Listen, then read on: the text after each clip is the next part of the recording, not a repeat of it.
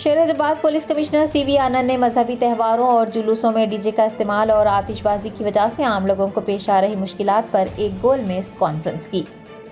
मजहबी त्यौहारों और जुलूसों के दौरान डीजे का इस्तेमाल एक फ़ैशन बनकर उभर रहा है, जिसकी वजह से शहरियों को मुश्किल पेश आ रही हैं। दूसरी जानब, सूती आलूदगी भी बढ़ रही है। हैदराबाद सिटी पुलिस ने शहरियों की सेहत व सलामती पर तवज्जो मरकूज की और police commissioner Hyderabad IPS CV Anand ने इस सिलसिले में एक गोल मेज कॉन्फ्रेंस की, जिसमें शहर के उलमा मशाइन अवामी, नुमाइंदे, मुख्तलिफ़ मजहबी तंजीमों से वाबस्ता कायदीन, अरकान असम्बली, अरकान पार्लिमान, मरकज़ी मिलाद कमेटी और वी एच पी के कायदीन के अलावा साइबराबाद, रचाकुंडा और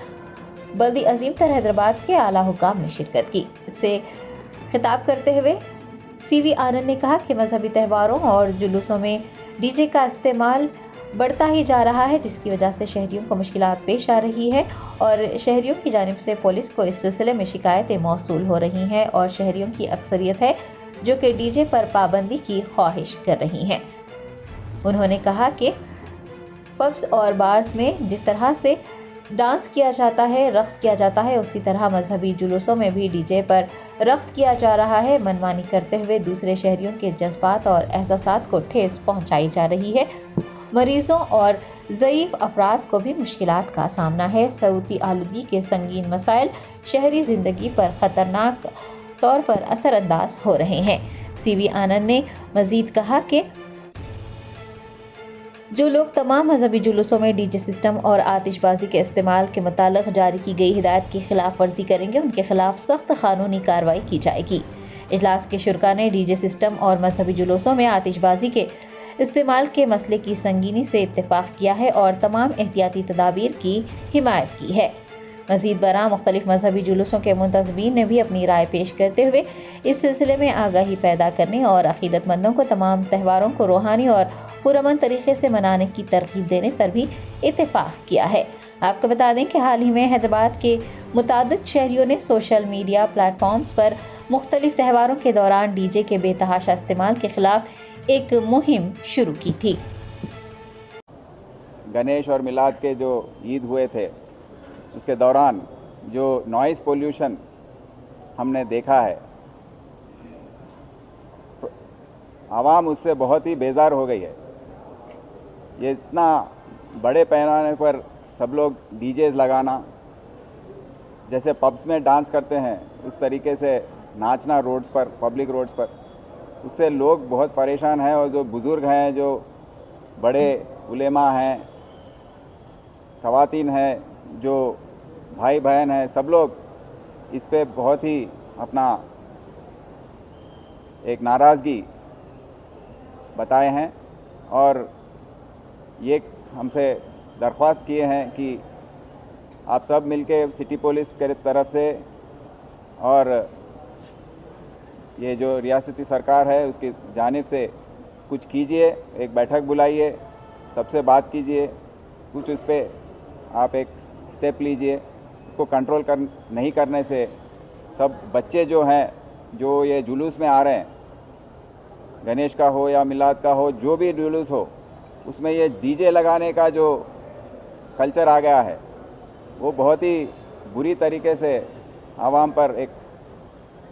उसका इफ़ेक्ट हो रहा है। घरों में जो बीमार हैं, जो बूढ़े हैं और जो जिनके एग्ज़ाम जिनके एग्ज़ाम्स हैं, जो पढ़ाई, तालीम के तौर पर जो एग्ज़ाम्स लिख रहे हैं, उनको इतनी बेज, बेजारी इससे महसूस हो रही है कि सब लोगों ने दिल से दरख्वास्त किया है कि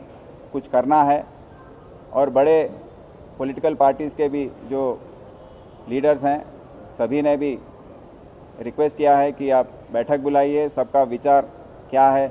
सबका सोच क्या है इसके बारे में मालूम कीजिए और सरकार की तरफ़ से कुछ आप कठिन स्टेप्स जो हैं, आप लीजिए। तो इसके तहत हम आज सबको, हम लेटर्स लिखे थे, सबको यहाँ पर उनको बुलाया है। आए, आ रहे हैं, अभी अभी तीन बजे शुरू होने वाला है ये मीटिंग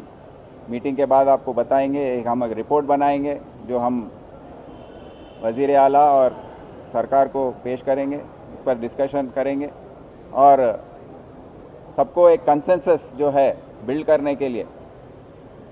अभी सब काफ़ी बताए हैं लीडर्स की, आप कुछ कर, हम कुछ, हम भी आपका साथ देंगे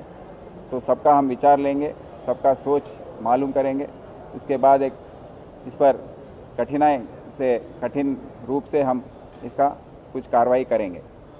तो आपको जल्द ही इसके बारे में बताएँगे और मैं आवाम से भी दरख्वास्त करता हूँ कि आप अपने जो बच्चे हैं, ये डीजेज लेके आकर जो नाच रोड पर कर रहे हैं, उन सबको आप पाबंद कीजिए, सबको कंट्रोल कीजिए, सख्ती से निभाइए। क्योंकि जब फैमिली का कंट्रोल नहीं होता, रोड पर पुलिस आकर उनको कंट्रोल करने के लिए हम बहुत ही दिक्कत आगे आती है। तो आप अपने तरफ़ से आप अपना कोशिश कीजिए। सरकार की तरफ़ से हम सब कोशिश करेंगे, पुलिस की तरफ़ से। हम सब मिलके ये न्यूसेंस जो बना है हमारे सिटी में, उसको हम कंट्रोल करने की कोशिश करेंगे। शुक्रिया। Germanten super speciality hospital national award winner doctor Mir Jawad Zar Khan. German trained senior orthopaedic surgeon and director माहिर डॉक्टर्स डॉक्टर वासिफ आज़म और doctor Bharavi Chunduri senior cardiologist और दीगर डॉक्टर्स नुमाया खदमात अंजाम दे रहे हैं robotic surgery advance cath lab M R I operation theatre I C U two D ultrasound जैसी सहूलियात से आरास्ता कॉर्पोरेट लेवल हॉस्पिटल वाजबी फ़ीस में, हर मर्ज से शिफायाबी के लिए German Germanten super speciality hospital Attapur